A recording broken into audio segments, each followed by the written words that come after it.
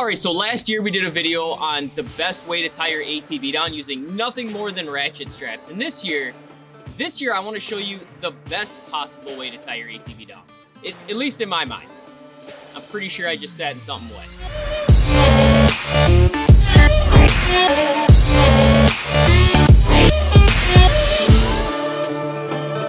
All right, so the method that I'm talking about is using E-Track. Now, if you've never used E-Track, definitely stick around because E-Track is an amazing, versatile way to tie down your ATVs, side-by-sides, and just a number of other things, especially if you set it up right. And, and if you're like, I know all about E-Track because I've used it or I've seen it, whatever, it's still a good video to watch or at least skip to the end just so you can kind of see really the use and, and how easy it actually is to bring your machine on and tie it down. It's just a E-Track is a great system. I absolutely love it. All right, so I already know basically where I want the E-Track. So you're gonna wanna figure that out first. In this case, I wanted it pretty far up to the front because I still wanna be able to load a side-by-side -side, or for sure, at least another ATV on the back. So make sure you figure that out. And I also knew that I wanted 45 inches between each E-Track. So make sure you figure that out as well. Now in this case, I measured one of my ATVs. So I knew that if I measured at least 45 inches apart, I would definitely be able to get my current ATV on there. And for the most part, that's pretty standard. So I would at least be able to get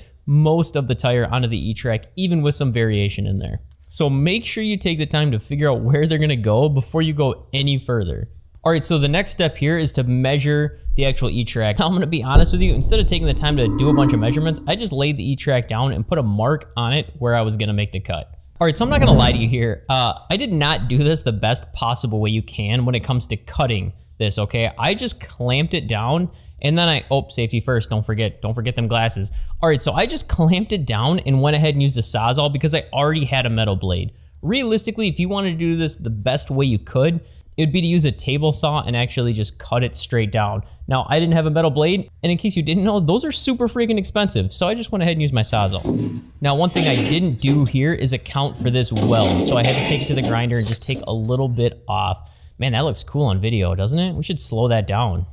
No, you can't even tell those sparks are moving so fast. Anyway, now using a grinder works really well because I was able to take a little bit off like I needed and it just smooths that cut down. Oh, perfect. That is a perfect fit. This this is gonna look awesome. All right, so wow, this guy's in the way. Dude, dude, move. What? I wanna be able to show people oh, the cut. my bad. Here. Wow. This piece is basically already cut off anyway. Sorry. Are you done interrupting? I, I forgot to hit record on that one. Oh my gosh, he's still interrupting. All right, so you don't have to yell though. Oh my gosh, is this guy for real? Fine, done interrupting. All right, so the reason I'm cutting this rubber is because different types of metals often do not go well with each other. So I'm putting a rubber barrier between the aluminum and these galvanized E-tracks. Now, one lesson I did learn here is that if you score it deep enough, you can really just peel it back. All right, so I'm gonna go ahead. I already cleaned this off, but again, I'm gonna I'm just gonna kind of get a little bit more gunk off that's fallen and, and just has landed there. So I have a nice clean surface to lay this rubber down before I put the E-Track on top of it. And by the way, I should say this E-Track, this is really nice E-Track and it wasn't overly expensive. I'll put a link in the show notes below so you can you can check it out online. And also, I'm gonna go ahead and put full instructions down there. And I recommend either having those instructions handy or printing them off because while Ace is the place of the helpful hardware folks, I saw them entirely too many times during this project because I kept forgetting something small and had to run back. So don't do what I did. Take the time to print out these instructions or, or, or at least have them available on your phone so that you know what you need the first trip. And again, the link for these instructions will be right below this video. You can click that and it'll take you right to them. So what I'm doing here is there's rivets in the trailer and I'm actually counting those to make sure that this lines up perfectly because if it doesn't line up right, it will drive me nuts for freaking ever.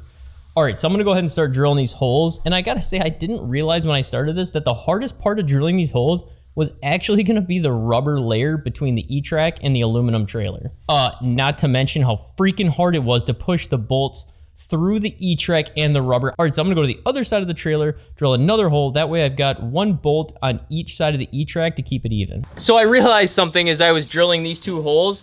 I just, I drilled the first two holes on opposite sides to use as a placeholder so that I know, I know this won't move while I screw the rest down. However, I have to screw into the frame as well, which I haven't done yet. This drill bit bit's not long enough, so I'm gonna have to go get a longer drill bit. All right, so I got that drill bit, and now I'm gonna go ahead and drill all these holes out, all right? So I know exactly where I want. When you do this, make sure you get some in the frame, okay? Some of these aren't in the frame, so I'm able to use a shorter bolt, which is why I was able to use that shorter drill bit for some of them. But a lot of the other ones, I'm using longer bolts that go all the way through the frame. You wanna make sure you get through your frame or somewhere that's extremely solid to actually fully secure this in well. And because I'm anal, I'm gonna go ahead and get all these aluminum shavings uh, picked up. There's my dog in the background, I guess making another appearance. I still, by the way, I still managed to get one of these aluminum pieces stuck in my finger. So be careful, they're sharp. All right, so now I'm gonna go ahead and spray each one of these holes. It's a clear spray, but it's it's made by Rust-Oleum. And the reason I'm spraying it in there is because we've now put fresh holes in the aluminum and the E-track and everywhere else, and it's just gonna help seal that back up again because what I don't want to have happen is these holes to lead to rust later on. So again, I've got the rubber between the metals. I'm gonna put the paint wherever I've made a fresh hole just because I want to do everything possible to ensure that this does not lead to rust down the road. And then on the E-track, I made those cuts, so I'm going to go ahead and spray that. And then where I drilled those holes, I actually drilled them just a hair bigger. So again, I'm going to make sure I spray those holes to, to seal all that back up. All right, so once it dries, we're going to go ahead and line up the rubber mat and then the E-track, and we can start bolting this puppy down or I don't I don't know what to say right now. I have nothing to say at this very moment. I just the silence seems weird. So I'm randomly talking as you watch me put bolts in this thing. I should probably just cut this down. I don't know why I'm still talking. I should cut this down. All right, so as I'm moving to the bottom again, you can see I'm using a nice thick rubber washer again to keep metals from touching, and then I'm going to use a nice thick steel washer, and then I'm going to put a lock nut on and the nut itself. And I'm going to do that all the way down. I won't make you watch all those though. Instead of just listening to me mumble, we'll just skip to when it's done. All right, so there we go. The one side totally done. Now, while the paint was drying on that one, I did start on this one, so it's already partway done, but you saw the process, so let's just go ahead and skip to when it's done. All right, so we are done. We got them both in. It took way longer than I expected because soon after uh, I started on this one, of course, the rain came, so I had to wait that out, which, uh, took a while. So now comes the greatest part of all. We get to actually test it out. I'm to show you what it looks like. So I've got some new some new E-Track uh, ratchet straps here. I, by the way, if I didn't already mention it, I'll go ahead and put a link in the show notes below for the E-Track and the ratchet straps, as well as some actual instructions on how to do this. All right, so let's go ahead and uh, load up a four-wheeler and see how it works.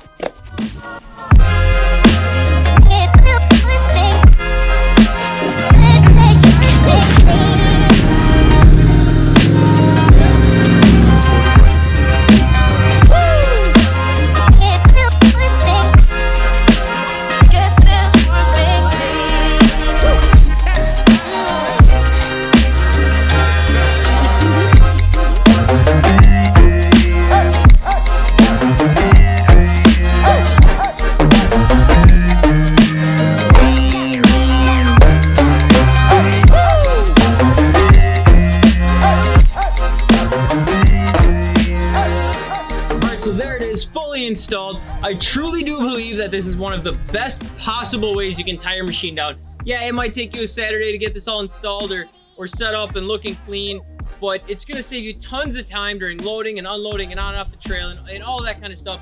And it's a very secure method to use. So I hope this video was helpful. Subscribe if you haven't already. And, and, I'll see you on the trail. Ride day!